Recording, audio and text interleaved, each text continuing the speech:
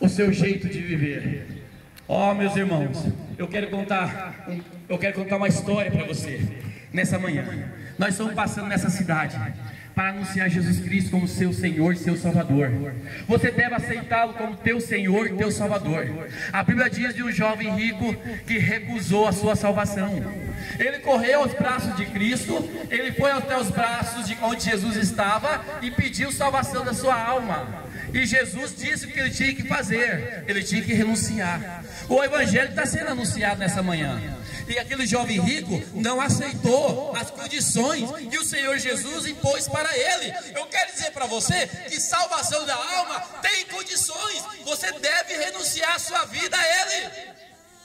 Se você pensa que você vai ter salvação sem aceitá-lo como teu Senhor e teu Salvador, meu irmão, você está enganado. E o diabo está enganando as pessoas. A Bíblia diz que o diabo veio para matar, roubar e destruir. Ele está destruindo vidas, está destruindo almas. Muitas almas estão indo para o inferno nesse dia.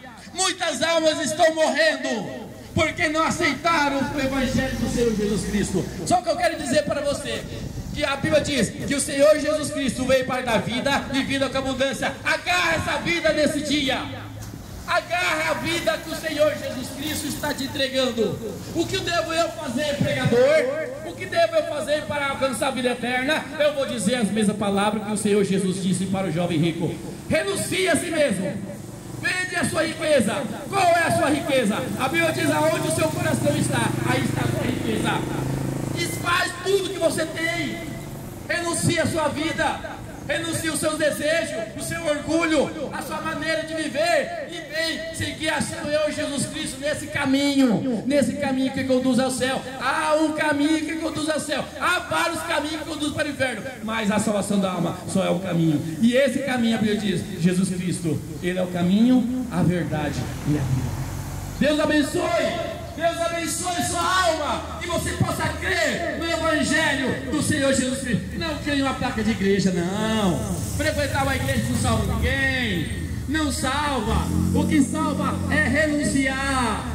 Renuncie, faça como Maria Madalena, renunciou a sua vida e rendeu a Cristo. Faça como Zaqueu, um cobrador de imposto, um ladrão, renunciou a sua vida e rendeu a Cristo. E a Bíblia diz que ele deu três vezes a mais porque ele tinha roubado.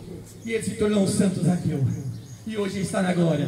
Pedro está na glória. Maria Madalena está na glória. Todos eles estão na glória. Eu quero estar na glória. Você não quer estar na glória também?